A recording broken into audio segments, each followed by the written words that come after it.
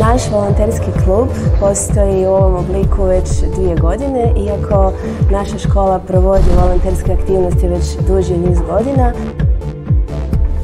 Znači, počela sam volontirati u prvom razredu srednje škole kad sam zapravo prvi put saznala za to. E, pridružila sam se volonterima u prvom razredu, znači čim sam došla i tu sam dan danas i nastavit ću sljedeće godine kao maturantica. Volonterski rad je počeo na inicijativu nekolicine učenika koji su htjeli e, doprinijeti svojoj zajednici i pomagati nekome u svojoj neposrednoj blizini.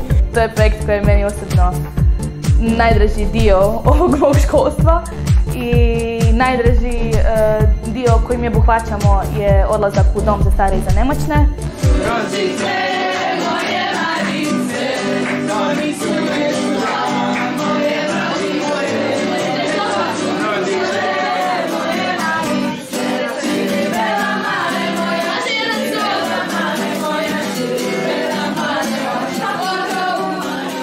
Volonterski klub je možda najpoznatiji po volontiranju u domu za starije i nemoćne, ali i po snimanju e, raznih video uradaka na temu tolerancije i promicanja raznih drugih pozitivnih oblika ponašanja, za što smo dobili i priznanja, a i predstavlja svoju vrsnu nagradu volonterima jer oni zapravo uživaju u takvim kreativnim uradcima. Ja to volim e, društvo i volim vesele ljude, a ovdje ima dosta onako malo zamišljenih i onda kad vi dojete osvježenje je veliko. I još kad počnemo tanca, kad kantamo, pa on, e, to je super.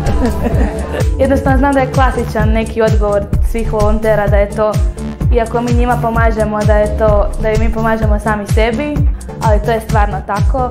Smatram da je e, najjača strana našeg volonterskog kluba upravo zajedništvo koje se vidi između volontera, ali na razini cijele ustanove, jer zapravo naš volonterski klub ima e, punu podršku nastavnika, kolega i cijele škole, što nam daje zapravo potreban vjetar u da nastavimo se svojim radom. Drago mi je da svojim trudom i svojim zalaganjem mogu doprinijeti zajednici i da mogu potaknuti nekoga da čini dobro jer se dobro dobrim vraća.